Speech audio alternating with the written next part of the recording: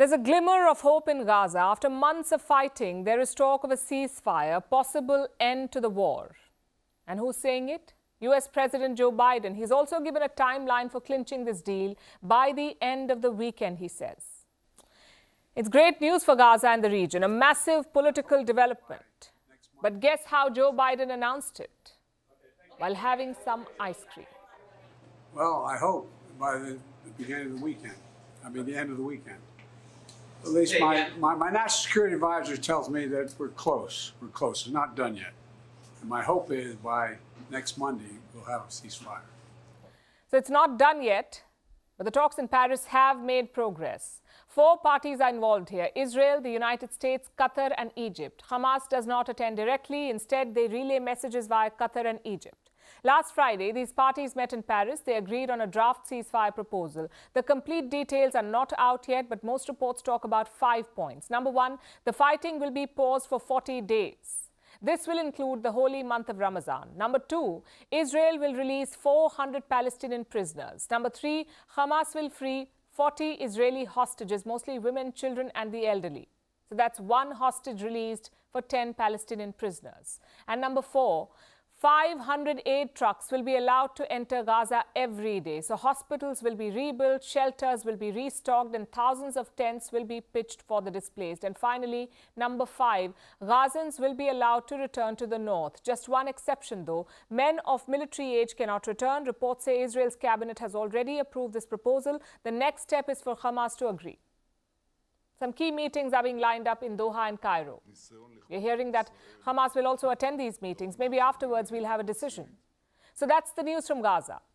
Let's now shift to the West Bank. Their entire government has just stepped down. You see, the West Bank is ruled by the PA, the Palestinian Authority, PA and its prime minister has announced his resignation. He says Palestine needs a new government based on consensus. This decision comes based on the political, security, and economic developments that are related to the offensive on our people in Gaza and the unprecedented escalation in the West Bank and Jerusalem, and to what our people and Palestinian cause are facing as well as our political system that had been aggressively attacked in an unprecedented manner. The resignation has been passed on to Mahmoud Abbas. He is the Palestinian president. Abbas may ask him to serve on as a caretaker, but logistics aside, what's the message here? It's the message of reform. The PA has been under pressure to change. The last elections in the West Bank were held way back in 2006.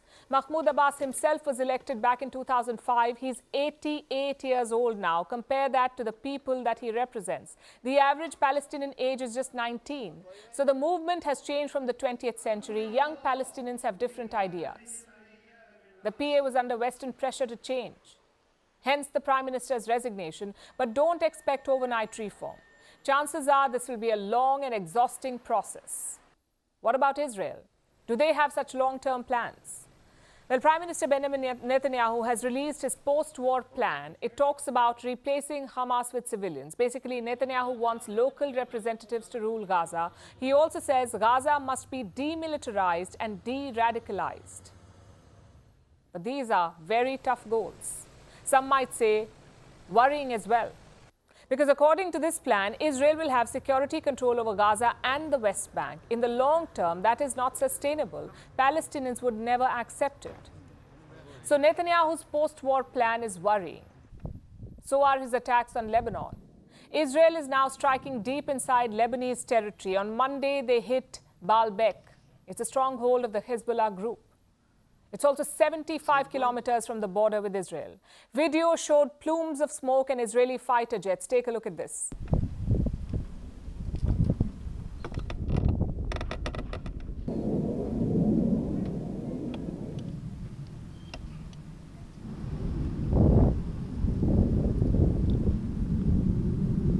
So far, Israeli attacks have been limited to the south, but this was eastern Lebanon, which means that Israel is escalating. The question is why? Maybe Netanyahu wants to keep the war alive to stay in office, or maybe these are preemptive strikes. Whatever the reason, it is worrying. It took almost 140 days to reach a tentative ceasefire deal in Gaza. The last thing we need is a war at the other front.